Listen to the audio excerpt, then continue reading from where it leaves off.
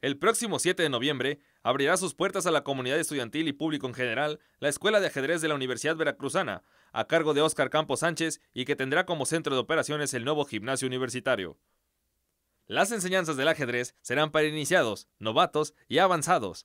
Esta escuela va dirigida a los alumnos de primarias, secundarias y preparatorias.